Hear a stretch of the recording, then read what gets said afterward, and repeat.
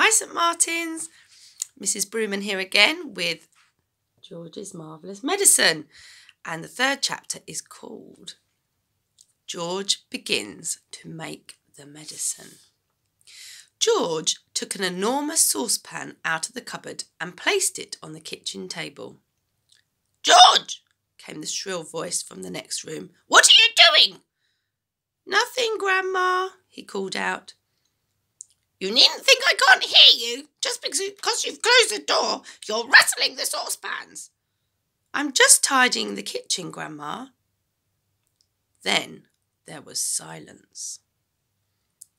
George had absolutely no doubts whatsoever about how he was going to make his famous medicine.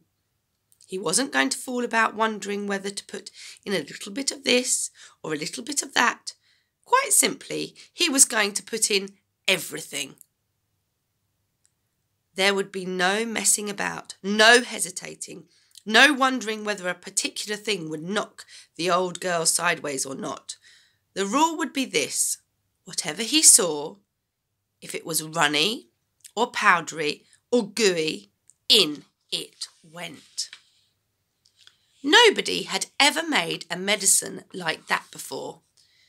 If it didn't actually cure Grandma, then it would anyway cause some exciting results. It would be worth watching. George decided to work his way round the various rooms one at a time and see what they had to offer. He would go first to the bathroom. There are always lots of funny things in a bathroom, so upstairs he went, carrying an enormous two handled saucepan before him. And there he is, climbing the stairs.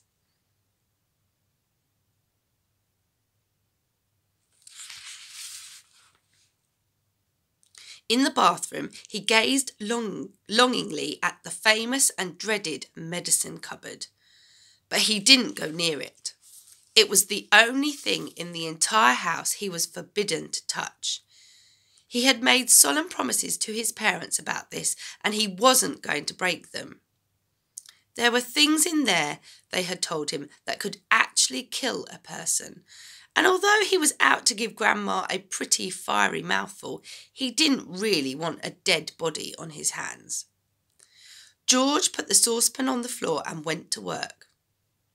Number one was a bottle labelled Golden Gloss Hair Shampoo.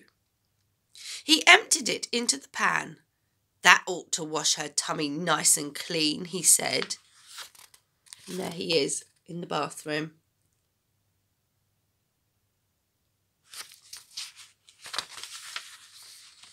He took a full tube of toothpaste and squeezed out the whole lot of it in one long worm. Maybe that will brighten up those horrid brown teeth of hers, he said. There was an aerosol can of super foam shaving soap belonging to his father. George loved playing with aerosols. He pressed the button and kept his finger on it until there was nothing left a wonderful mountain of white foam built up in the giant saucepan. With his fingers, he scooped out the contents of a jar of vitamin enriched face cream. In went a small bottle of scarlet nail varnish. If the toothpaste doesn't clean her teeth, George said, then this will paint them as red as roses. He's having so much fun pouring in all the different things. I wonder if maybe you could draw me a picture of what you would put in your saucepan if you were making grandma a medicine. Maybe you could take a picture and upload it on our Facebook page, which is coming very soon. He found another jar of creamy stuff labelled hair remover. Smear it on your legs, it said, and allow to remain for five minutes. George tipped it all into the saucepan. There was a bottle with yellow stuff inside it called Dishworth's famous dandruff cure. In it went. There was something called Brillident for cleaning false teeth. It was a white powder. In that went too. He found another aerosol can. Never more ponking deodorant spray, guaranteed. it said, to keep away unpleasant body smells for a whole day. She could use plenty of that, George said as he sprayed the entire canful into the saucepan. Liquid paraffin, the next one was called. It was a big bottle. It, he hadn't the faintest idea what it did to you, but he poured it in anyway. That, he thought, looking around him, was about all from the bathroom. On his mother's dressing table in the bedroom, George found yet another lovely aerosol can. It was called Helga's Hair Set. Hold 12 inches away from the hair and spray lightly. He squirted the whole lot into the saucepan. He did enjoy squirting these aerosols. There was a bottle of perfume called Flowers of, of Tulips. It smelled of old cheese. Old cheese. In it went. And into went a large round box of powder. It was called Pink Plaster. There was a powder puff on top, and he threw that in as well for luck. He found a couple of lipsticks. He pulled the greasy red things out of their little cases and added them to the mixture.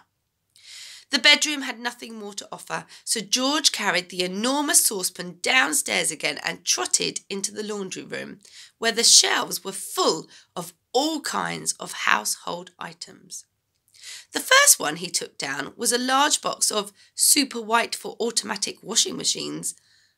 Dirt, it said, will disappear like magic.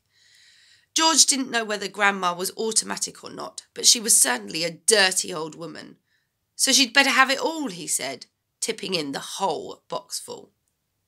Then there was a big tin of Waxwell floor polish. It removes filth and foul messes from the floor and leaves everything shiny bright it said. George scooped the orange coloured waxy stuff out of the tin and plonked it into the pan. There was a round cupboard carton, cardboard carton, labelled flea powder for dogs. Keep well away from the dog's food, it said, because this powder, if eaten, will make the dog explode. Good, said George, pouring it all into the saucepan. Oh, can you imagine what it would be like if he made Grandma explode. I think he would very much like that. There he is, pouring in the powder. He found a box of canary seed on the shelf. Perhaps it'll make the old bird sing, he said, and in it went. Next, George, George explored the box with shoe cleaning materials, brushes and tins and dusters.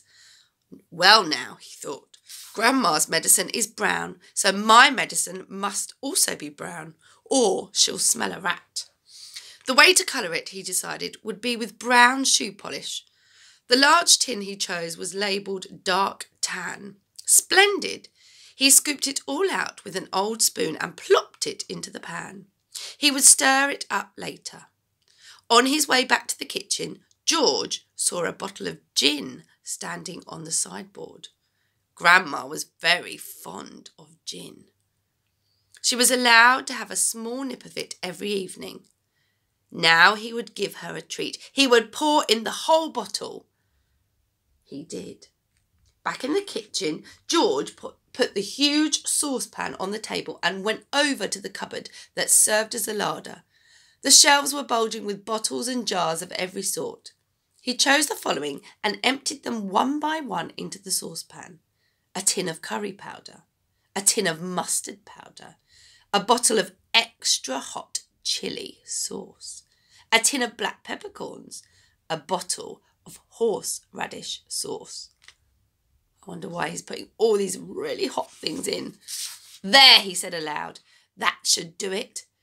George, came the screechy voice from the next room. Who are you talking to in there? What are you up to?